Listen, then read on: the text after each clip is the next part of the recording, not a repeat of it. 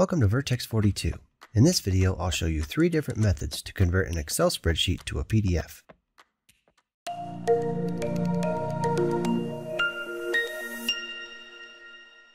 First, I'll show how to use the print to PDF method. In this example, I'm using our invoice template. First, go to File, Print. Printing to a PDF doesn't use your physical printer, but it does use your print settings to create the PDF file. Under Printer, select Microsoft Print to PDF. Next, go to Page Setup and make sure you have print quality selected. Finally, click Print, select the folder you want to save your PDF to, type in the file name you want, then click Save.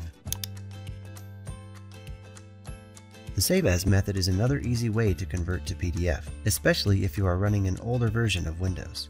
First, select the worksheet you want to convert to a PDF, then go to File, Save As. Type in the file name you want, then in the drop-down, select PDF. Now click the Save button and you're done. Let's try the export method using a calendar template where each worksheet is a different month of the year.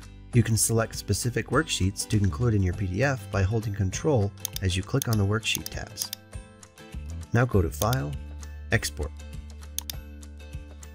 This Create Adobe PDF option only shows up if you have Adobe Acrobat installed on your computer, so I'll show the option that comes standard with Excel. Choose Create PDF XPS document, then click on the Create button.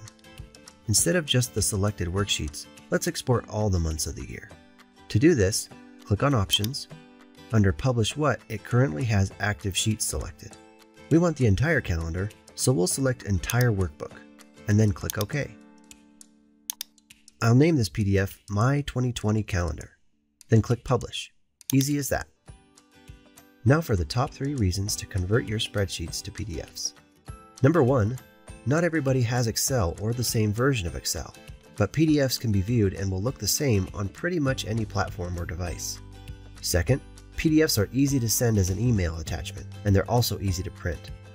Third, PDFs can provide extra security, including password protection, and they're especially useful when you don't want to share an entire spreadsheet. Thanks for watching this video. Please like, subscribe, and turn on notifications to support our channel. If you'd like to use any of the free templates shown during this video, we've provided links in the description below.